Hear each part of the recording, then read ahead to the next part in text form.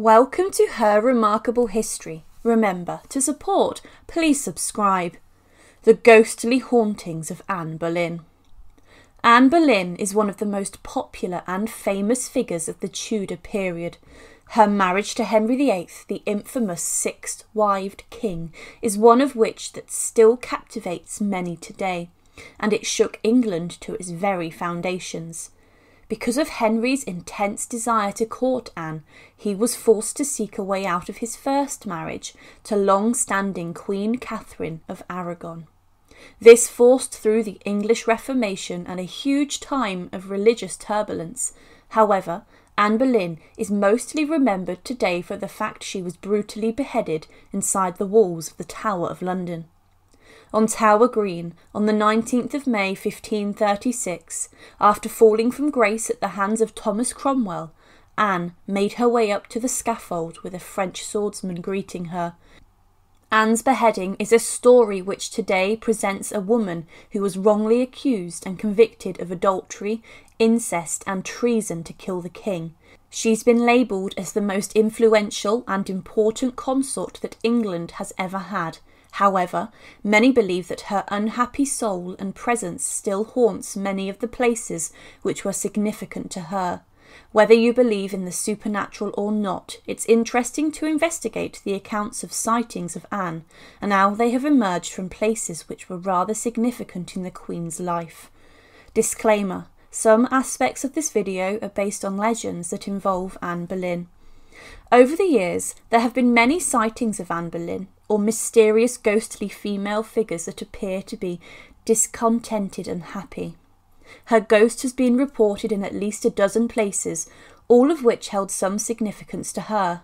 In Norfolk, at Blickling Hall, the home in which Anne was born in, there has been a sighting of a coach, with her father Thomas Boleyn's spectre sitting inside it, being drawn by a number of headless coachmen and horses However, inside the coach, according to Victorian versions, is Anne herself.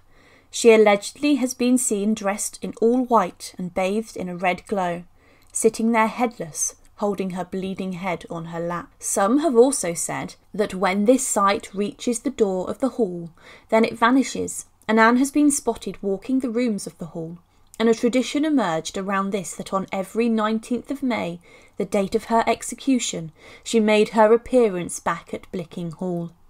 The hall itself was rebuilt shortly after the Tudor period, but sightings of Anne have placed her spectral figure in the drawing room, wearing grey, walking along the corridors and even reading a book inside the long gallery. Rather eerily, in 1979, an apparition was seen by a steward working there of Anne Boleyn. However, she left rather quickly and left behind a book of Hans Holbein's paintings. Now, it's never been proven that Anne sat for Holbein, and that there is no definitive portrait painted of her by the famous German painter. Just two sketches that are unproven to be her. The sightings of Anne's ghostly figure continued at Blickling, with more sights of a woman in grey and white lace collar walking along the lawn to the lake. Another part of the hall that is said to have been haunted by her is Old Bullen's study, which has a bad atmosphere that some servants were too scared to enter it, with it being locked up and now lost for time. Anne is also said to haunt Rochford Hall in Essex, the former home of her family, which was lived in by her sister and second husband William Stafford. One of the most prominent places in Tudor England was Hampton Court Palace, and it was here where Anne and Henry VIII celebrated much of their marriage together. For example, Anne helped to refurbish large parts of the palace to update it to her tastes. In the Great Hall, the decorations on the ceiling and panellings with her and Henry's initials are intertwined. Following her fall from grace and the king's infatuation with Jane Seymour, these were all removed.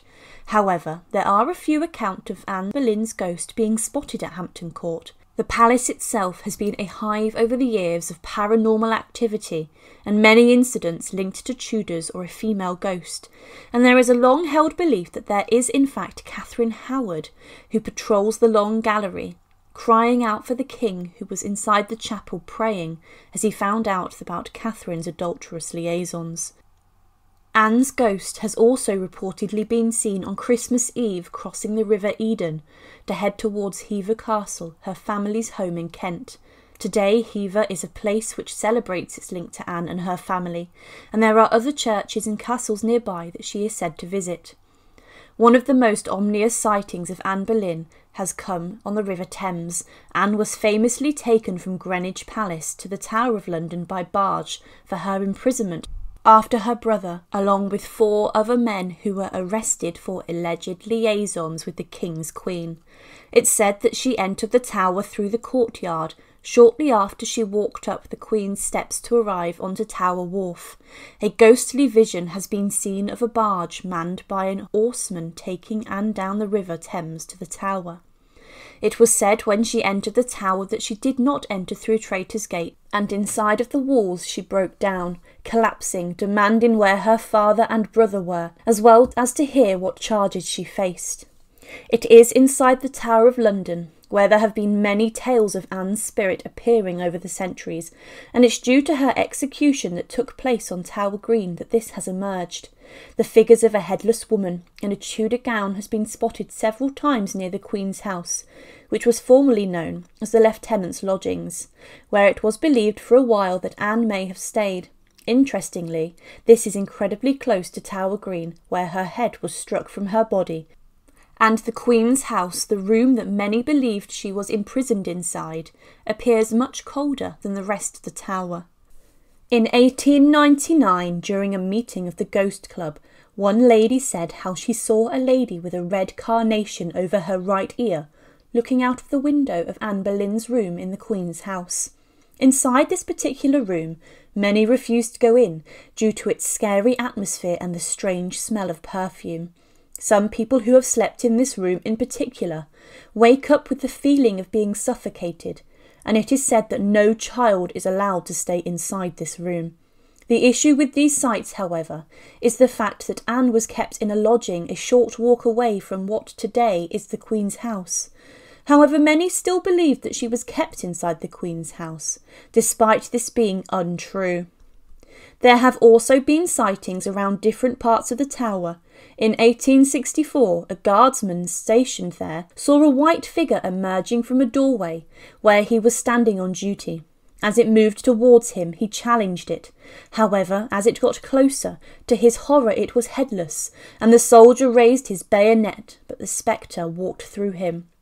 With fear, he then fainted, and was even court martialed, being accused of being drunk and dereliction of his duties. Two other soldiers, though, revealed that they had watched from a window of the bloody tower as it approached the soldier, and they heard him scream. And for this he was then acquitted, with the incident remaining unsolved. The beefeaters, or yeoman warders, have been a staple of the tower for centuries, since the reign of Henry VIII, and some have even alleged sightings of Anne's ghostly figure. In the nineteenth century, one said how he saw a bluish form drifting over the tower green, and he could hear heels tapping on the ground. This figure then walked towards Tower Green, but once she moved into a moonlit area, it was spotted that she had no head. In 1933, another soldier based there claimed that he saw a headless woman near the bloody tower that rose out of the ground and floated towards him. At five different times and to five different people, they saw apparitions like this emerging from the Tower Green area. Bizarrely, in 1972, whilst visiting the tower from the north of England, a young nine year old girl was standing by the site of the scaffold at the tower whilst listening to a guide reciting the names of those executed on Tower Green by axe.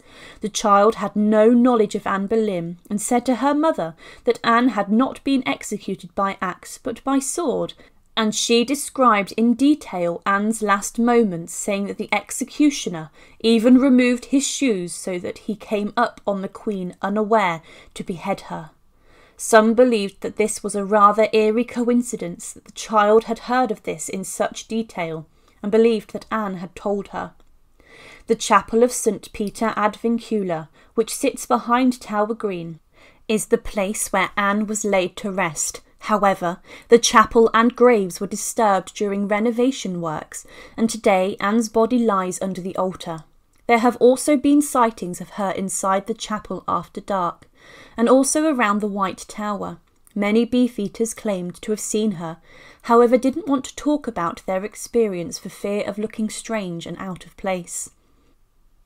Despite the story of Anne Boleyn's ghostly essence haunting many of the places which were important to her, it shows us that she has become an almost romantic figure in the story of England's past, and today she is still seen as a martyr by many. Whether you believe the accounts or not is completely up to you. However, what cannot be denied is the impact that Anne left on England in the short time she was on this earth. Her death inside the Tower of London was incredibly graphic and bloody, and must have been an horrific spectacle for those who were there that day. She is a queen who changed the face of English history forever. Thank you for watching and to support, please subscribe to Her Remarkable History. Thank you.